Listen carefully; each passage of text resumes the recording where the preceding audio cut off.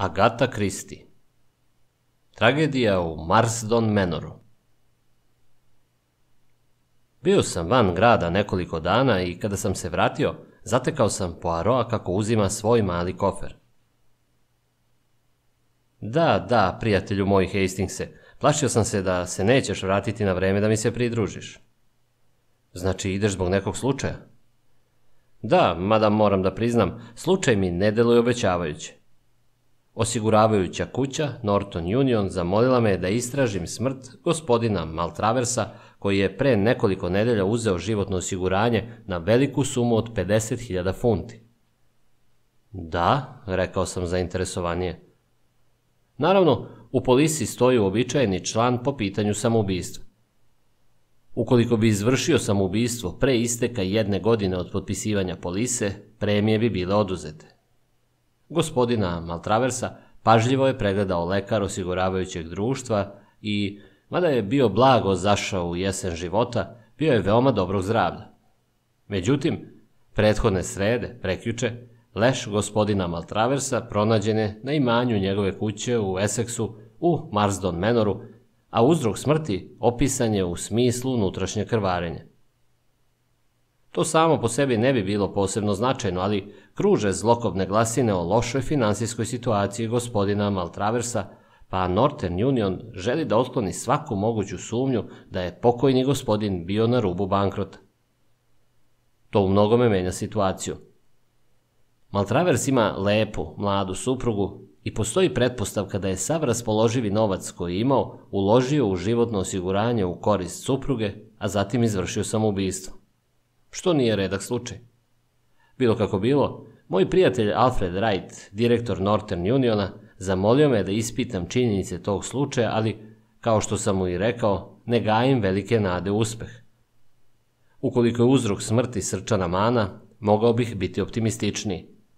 Srčana mana kao uzrok smrti često se shvata kao nesposobnost lokalnih lekara opšte prakse da utvrde od čega je pacijent zaista preminuo, mada je krvarenje prilično lako utvrditi. Ipak, treba da obavimo potrebne istraživanja. Imaš pet minuta da spakuješ kofer Hastingse i krećemo taksijem do ulice Liverpool.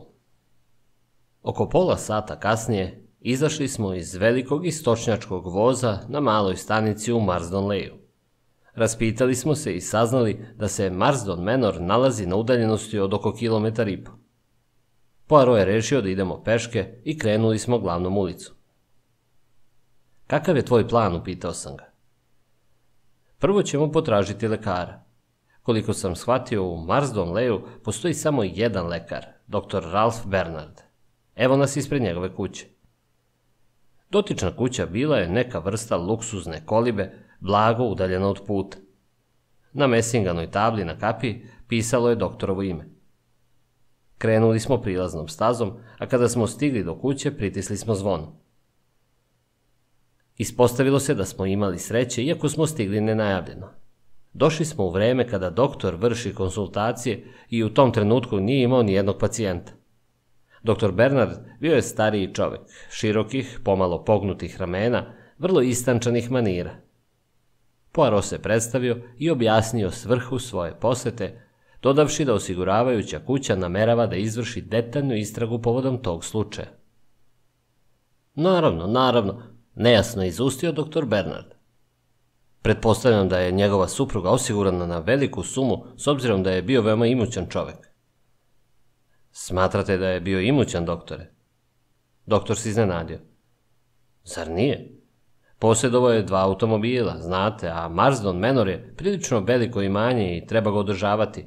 Mada verujem da ga je jeftino kupio. Shvatio sam da je imao nekakvih novčanih poteškoća, rekao je Poirot žmirkajući i posmatrujući vrata. Lekar je tužno odmahnuo glavom. Jeli? Začudo. U tom slučaju sreća po njegovu ženu da je imao to životno osiguranje. Ona je veoma mlado i šarmantno biće, a ova nesreća joj je strahovito potresla. Izgubila je živce jadnica. Pokušavao sam da joj pomognem koliko sam mogao, ali šok je bio ogroman. Nedavno ste pregledali gospodina Maltraversa. Dragi gospodine, ja njega nikada nisam pregledao. Molim?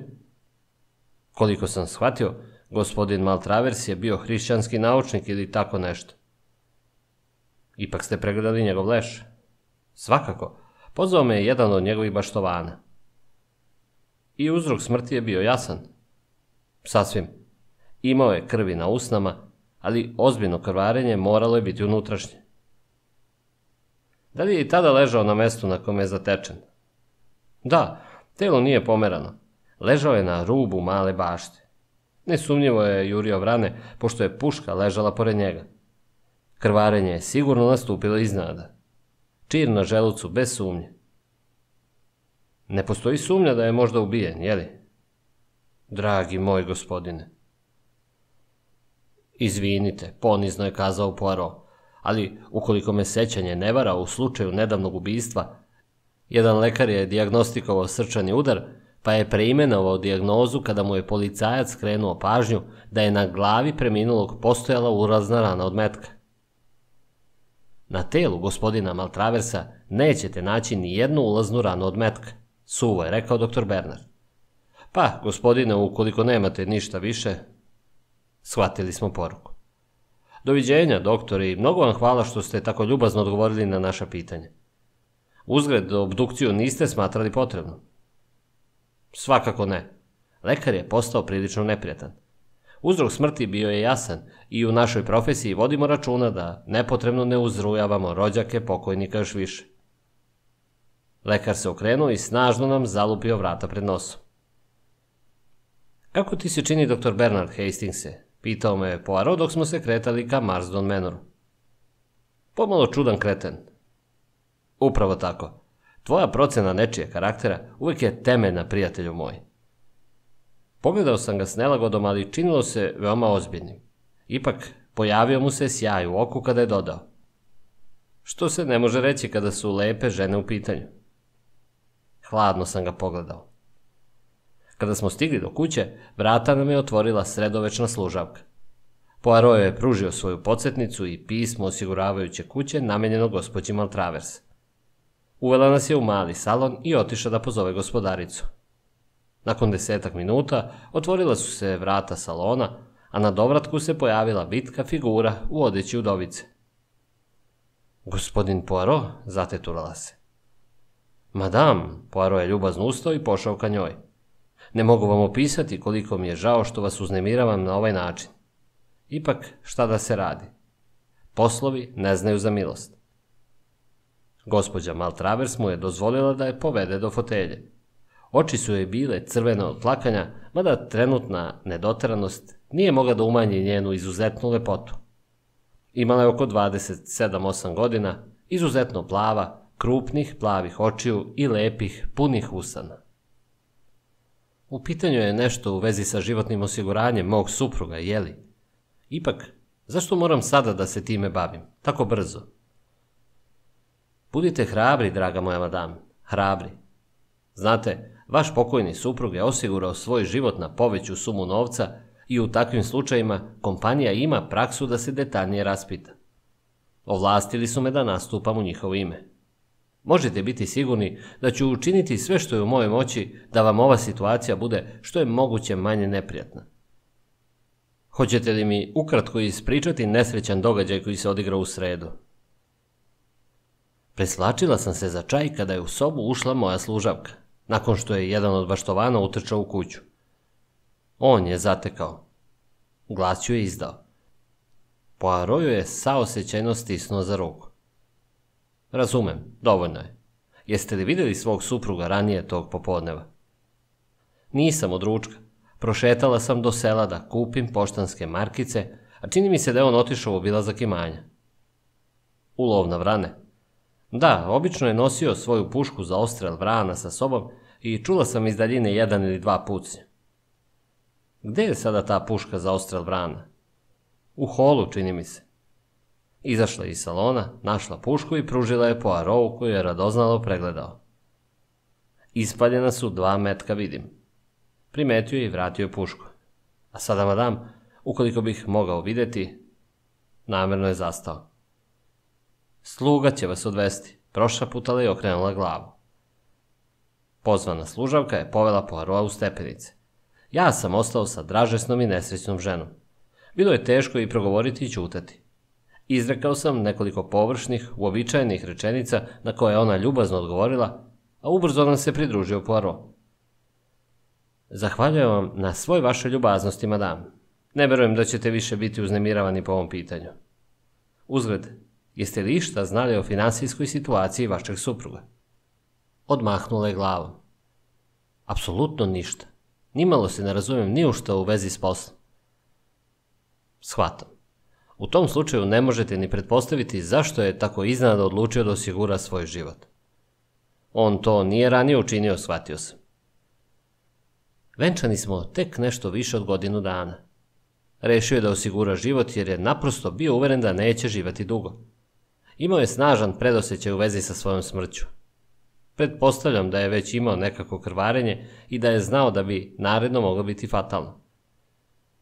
Pokušala sam da razbijem te njegove mračne strahove, ali bez uspeha. Nažalost, bio je u pravu.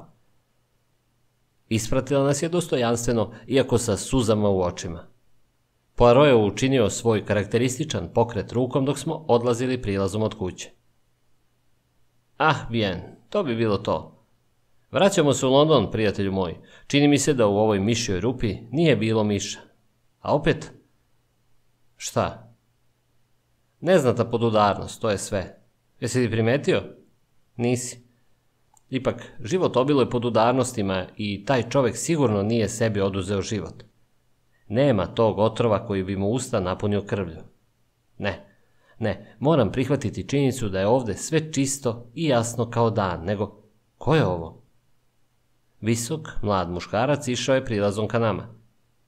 Prošao je pored ne pozdraviši nas, ali sam primetio da nije bio snužden. Lice mu je bilo zategnuto, potamnilo i odavalo je život u tropskoj klimi. Baštovan koji je skupljao lišće, nakratko je zastao sa posom i Poirot je požurio ka njemu. Recite mi, molim vas, ko je taj gospodin? Poznajete li ga? Ne sjećam se kako se zove, gospodine, mada sam čuo njegovo ime. Bio je ovde prošle nedelje da prenoći, u utorak. Brzo, Monami, idemo za njim. Požurili smo prilazom za siluetom koja nam je odmicala.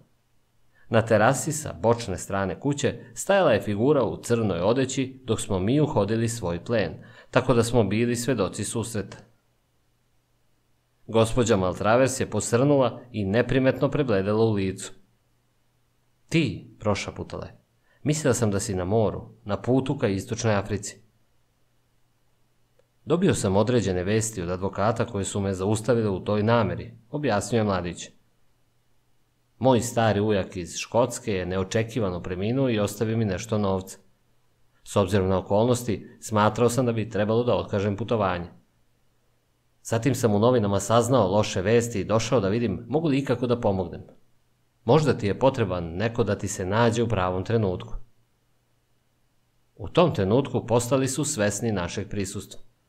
Poirot je iskoračio i najljubaznije se izvinivši objasnio da je ostavio svoj štap u holu. Vrlo nevoljno učinilo mi se, gospođa Maltravers nas je upoznala. Monsieur Poirot, kapetan Black. Usledio je neobavezan i kratak uljudan razgovor iz koga je Poirot saznao informaciju da je kapetan Black odseo u Enhor Inu. Štap nije pronađen što nimalo nije bilo neobično. Poirot se još jednom izvinio i otišli smo. Brzim koracima vratili smo se u selo i Poirot se zaputio ka Enhor Inu. Ovde ćemo se usiditi dok se kapetan Black ne vrati, objasnjuje. Primetio si da sam naglasio kako ćemo se prvim vozom vratiti u London. Verovatno si mislio da će tako i biti. Ali ne. Primetio si izraz lica gospođe Maltravers kada je ugledala mlađanog Blacka. Prestravila se. A on, ah, bien, veoma je odan, zar ne misliš? Sem toga, bio je tamo utorak uveče, dan pre nego što je gospodin Maltravers umro. Moramo istražiti kretanje i radnje kapetana Blacka Hastingsa. Negde nakon pola sata primetili smo našeg čoveka kako prilazi hotelu. Poirot je izašao da ga sačeka i doveo ga je u sobu koju smo iznajmili. Rekao sam kapetanu Blacku povod kojim smo došli ovamo i objasnio je. Shvatate, mesije kapetane, da me zanima psihičko stanje gospodina Maltraversa neposredno pre smrti, a da istovremeno ne želim da uznemiravam gospođu Maltravers postavljajući bolna pitanja. Pošto ste vi sada srećom najši, možete nam dati podjednako vredne informacije. Učinit ću sve što je u mojoj moći da vam pomognem, uverava vas, odgovorio je mladi vojnik. Međutim, plašim se da nisam primetio ništa neobično. Znate, iako je Maltravers bio stari prijatelj mojih roditelja, lično ga nisam najbolje poznavao. Došli ste kada? Utorak posle podne. Otišao sam u sredu, rano ujutru, pošto je moj brod iz Tilberija kretao oko 12. Međutim, izvesne vesti su poremetile moje planove, kako ste mogli čuti iz mog razgovora sa gospođom Maltravers. Trebalo je da se vratite u Istočnu Afriku, ako sam dobro čuo. Da, Tamo sam još od kad se rad završio. Sjajna zemlja. Zaista? O čemu se vodio razgovor u utorak za večerom? Ne znam, o uobičajenim temama. Mal Travers je pitao kako su moji. Zatim smo pričali o nemačkom obeštećenju i konačno je gospodin Mal Travers postavljao mnogo pitanja o istočnoj Africi, a ja sam odgovarao i to bi bilo sve, čini mi se. Hvala vam. Poirot je ćutao nekoliko trenutaka, a zatim je ljubazno rekao. Uz vaše dopuštenje, želo bih da izvedem jedan mali eksperiment. Ispričali ste nam svega čega se vaša svest seća, ali želo bih da ispitam vašu podsvest. Psihoanaliza, jeli? rekao je Black primetno uspaničeno. O, ne, uveravao ga je Poirot. Ovako ćemo. Ja ću vam kazati jednu reč, a vi ćete mi na nju odgovoriti drugom i sve tako. Odgovorite mi bilo kojom rečju koja vam prva padne na pamet. Hoćemo li da počnemo? U redu, polako je rekao Black, ali se videlo da mu nimalo nije prijatno. Zapisuj reči Hastingse, molim te, kazao je Poirot. Zatim je iz džepa izvadio stari džepni sat i spustio ga na sto pored sebe. Počinjemo. Dan. Zavladala je tišina, zatim je Black odgovorio. Noć. Kako je Poirot nastavljao, Black je brže izgovarao reči. Ime, kazao je Poirot. Mesto. Bernard, Shaw. Utorak, večera. Putovanje, brod. Zemlja, Uganda. Priča, labovi. Puška za vrane, farma. Pucanj, samoubistvo. Slon, kljove. Novac, advokati. Hvala vam, kapetane Black. Možda biste mogli da izdvojite nekoliko minuta nakon nekih pola sata. Svakako. Mladi vojnik ga je pogledao sa zanimanjem, obricao čelo i ustao. A sad, Hastings se, kazao je Poirot, smehujući mi se zadovoljno dok su se vrata zatvarala s našim posetiocem. Sve si shvatio, zar ne? Ne znam na šta misliš. Taj spisak reči ti ne znači ništa. Pogledao sam ga, ali sam bio primoran da samo odmahnem glavom. Pomoći ću ti. Pre svega, Black je odgovarao u normalnim vremenskim razmacima, bez zastajkivanja, tako da možemo prihvatiti da nije prikrivao nikakvu krivicu. Dan i noć i ime i mesto su običajne asocijacije. Naveo sam ime Bernard jer bi ga navelo na pomisao na lokalnog lekara ukoliko su uopšte s njim susreo. Očito nije. Nakon razgovora, na moj utorak odgovorio je sa večera, ali na putovanje iz zemlja odgovorio je sa brod i Uganda, što zasigurno pokazuje da mu je putovanje u inostranstvo bilo važno, a ne ono koje ga je dovelo vamo. Priča ga je asocirala na labove o kojima se za večerom vodio razgovor. Naveo sam pušku za vrane, on je odgovorio sasvim neočekivanom rečju farma. Kada sam kazao pucanj, odgovorio je samoubistvo. Asocijacija je jasna. Čovjek koga poznaje negde na farmi je izvršio samoubistvo puškom za vrane. Ne zaboravi da su mu misli još uvek vezane za priče koje je pričao za večerom i smatram da ćeš se složiti da nisam daleko od istine ukoliko ponovo pozovem kapetana Bleka i zamolim ga da ponovi određenu priču o samoubistvu koju je pričao za večerom u utorak uveče. Black je bio dovoljno iskren. Da, Kada se prisjetim, ja sam im ispričao tu priču, kako se neki farmer ubio na farmi. Da je to učinio tako što je gurnuo pušku u usta, metak mu je ostao u mozgu. Lekari su bili zbunjeni, pošto se nije videlo ništa drugo do krvu u ustima. Ali, kazao je, kakve to veze ima sa gospodinom Altraversom? Niste znali da je nađen sa puškom za vrane pored sebe. Hoćete da kažete da mu je moja priča sugerisala? Oh, pa to je strašno. Ne uznemiravajte se. Da nije tako, bilo bi nekako drugačije. Moram da telefoniram u London. Poirot je vodio poduži razgovor, a zatim se vratio zamišljen. Popodne je sam nekuda otišao i vratio se tek oko sedam. Rekao mi je da ne može više da odugovači, već da mora mladoj udovici da saopšti vesti. Saosećajnost koju sam osjećao prema njoj bila je bezrezervna. Ostati bez penija sa saznanjem da joj se suprug ubio kako bi obezbedio njenu budućnost, bio je težak teret za svaku ženu. Međutim, gajio sam tajnu nadu da bi se moglo ispostaviti da će se mlađani Black možda pokazati sposobnim da je uteši nakon što prođe prva žalost. Očigledno mu se veoma dopadalo. Naš razgovor sa gospođom bio je veoma bolan. Žestoko je odbijala da poveruje činjenice koje je Poirot izložio, a kada je konačno shvatila, briznula je u gorak plač. Obdukcija tela pretvorila je naše sumnje u nesumnjivost. Poirot je bilo veoma žao mlade dame, ali njega je ipak angažovala osiguravajuća kuća i šta je on tu mogao? Kada je krenuo da pođe, nežno je kazao gospođi Maltravers. Madam, vi biste bolje od bilo koga drugog trebalo da znate da nema mrtvih. Kako to mislite? rekla je začuđeno i zadrhtala, a očevi postadoše krupnije. Jeste li ikad učestvovali na nekoj spiritualističkoj seansi? Vi kao da privlačite onostranu energiju, znate. To su mi već kazali, ali ja ne verujem u spiritualizam. Madam, vidio sam mnoge neobične stvari. Znate li da se u selu priča da je ova kuća ukleta? Klimnula je glavom, a u tom trenutku služavka je došla s obaveštenjem da je večera spremna. Hoćete li da ostanete i pojedete nešto?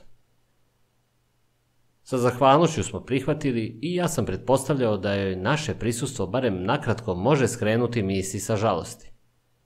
Neposredno pošto smo pojeli supu, začuo se vrisak ispred vrata i zvuk razbijenog zemljanog posuđa.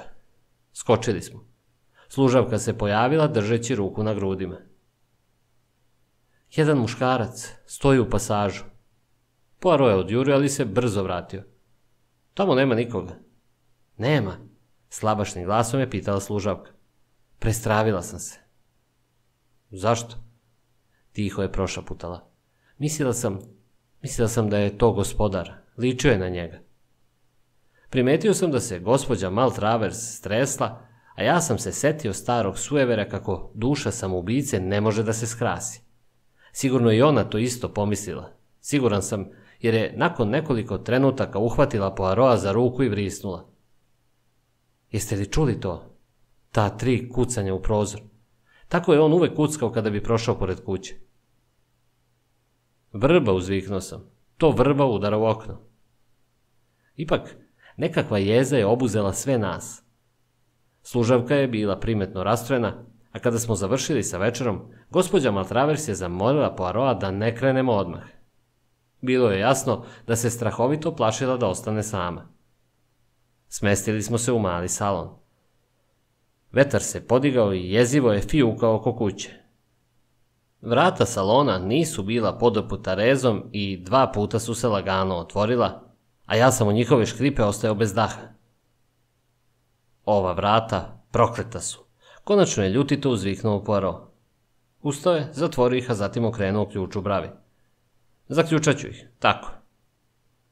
Ne činite to, jedva izustila. Ako se opet otvore... Dok je to izgovarala, desilo se nemoguće. Zaključana vrata polako su se otvorila. Sa mesta na kome sam sedeo nisam mogao da vidim hodnik, ali ona i Poirot su mogli. Ispustila je dug krik i okrenula se ka njemu. Videli ste ga, tamo u pasažu, uzviknula je. Posmatruo je sa izrazom zbunjenosti na licu, a zatim odmahnuo glavom. Videla sam ga, Svog supruga. Sigurno ste ga i vi vidjeli. Madam, ja nisam ništa video. Nije vam dobro, uznemireni ste. Savršeno sam dobro, ja, gospode. Iznenada, bez ikakvog upozorenja, svetla su zatreperila i ugasila se. S polja i iz mraka čula su se tri glasna udarca. Začuo sam gospođu Maltraverska kostenje. A zatim ugledao sam. Muškarac koga sam video kako leži na krevetu na spratu iznad, stajao je tamo i gledao u nas, osveten blagom sablasnom svetlošću. Na njegovim usnama bila je krv, a desna ruka mu je bila podignuta i nešto je njom pokazivao. Iznada, kao da se svetlost razila iz nje. Prošla je pored Poiroa i mene i zaustavila se na gospođi Maltravers. Ugledao sam njeno prestravljeno lice, ali i još nešto. Za boga, Poirot, uzviknuo sam. Pogledaj joj ruku, desnu ruku, sva je crvena. I ona ju je pogledala, a zatim se srušila na pod. Krv, histerično je uzviknula. Jeste, to je krv. Ja sam ga ubila. Ja sam to učinila. Sinoć mi je pokazivao pušku, a zatim sam ja pritisla obarač. Spasite me od njega, spasite me. On se vratio. Glas joj se izgubio u buncanju. Svetlo, brzo je kazao Poirot. Svetlo, kao da se nekom čarolijom upalilo. To je to, nastavio. Čuo si Hastingse. I vi, Everete. Oh, znate, ovo je gospodin Everett, član jednog pozorišta. Sa njim sam danas popodne razgovarao. Šminka mu je odlična, zar ne? Bio je isti kao pokojnik, a uz pomoć čepne lampe i neophodne fluorescentne materije ostavio je željeni utisak. Ne bih je uhvatio za desnu ruku da sam na tvom mestu, Hastingse. Na njoj je crvena farba. Kada su se svetla ugasila, ja sam je uhvatio za ruku. Nego, ne smemo zakasniti na voz. Inspektor Džap je sa suprotne strane prozora. Grozna noć, ali ubio je vreme tako što je povremeno kuckao prozor. Vidiš, nastavio je Poirot dok smo se žustrim korakom probijali kroz vetar i kišu. Postojala je mala protivrečnost. Lekar je izgleda mislio da je pokojnik nekakav hrišćanski naučnik, a ko bi to mogao da mu kaže osim gospođe Maltravers? A nama ga je predstavila kao čoveka izuzetno zabrinutog za svoje zdravlje. S druge strane, zašto je toliko uznemirio povratak mladog Blacka? I na kraju, iako znam da supruga pristojno treba da ožali svog čoveka, nisu me zavarali snažno na crvenisani kapci. Nisi primetio Hastings? Ne, kao što neprestano pričam, ništa ti ne vidiš. Eto, tako je bilo. Postojale su dve mogućnosti. Je li slučajna Blackova priča o samoubistvu navela gospodina Maltraversa na takvu pomisao, ili je druga osoba koja ga je slušala u njoj videla genijalan način da počinje ubistvo. Bio sam skloniji da poverujem da je ovo drugo u pitanju. Kako bi sebe pogodio na taj način? Morao bi povući obarač nožnim prstom ili barem to ja tako zamišljam. Da je Maltraver zatečen bez jedne čizme, mi bismo to sigurno saznali od nekoga. Takav neobičan detalj sigurno ne bi prošao nezapaženo. Ne, kao što rekoh, verovao sam da je u pitanju ubistvo, a ne samo ubistvo. Ali sam shvatio da nemam ni najmanji dokaz u korist svoje teorije. Stoga sam morao da priredim malu komediju koju si prisustvovao večeras. Čak i sada mi nisu jasni svi detalji zločina, kazao sam. Počnimo od početka. Podla žena sklona spletkama, saznavši za finansijski debakl svog supruga i umorno starijeg partnera za koga se udala samo zbog njegovog novca, navodi ga da osigura svoj život na veliku novčanu sumu, a zatim traži način da ostvari svoje namere. U tome joj je pomogao slučajan događaj, neobična priča mladog vojnika. Narednog popodneva, kada je monsieur kapetan, kako ona veruje, bio negde na otvorenom moru, ona je sa suprugom obilazila imanje. Kako je bila zanimljiva ona priča o sinoć, primetila je. Može li čovjek na taj način sebe da ubije? Pokaži mi, da li je moguće? Nesrećni lakovernik pokazao je. Stavio je cev svoje puške u usta. Ona se sagla, stavila prst na obarač i nasmijala mu se. A sada, gospodine, zlurado je kazala, pretpostavljam da treba da povučemo barač. I tada ga je se zaista povukla.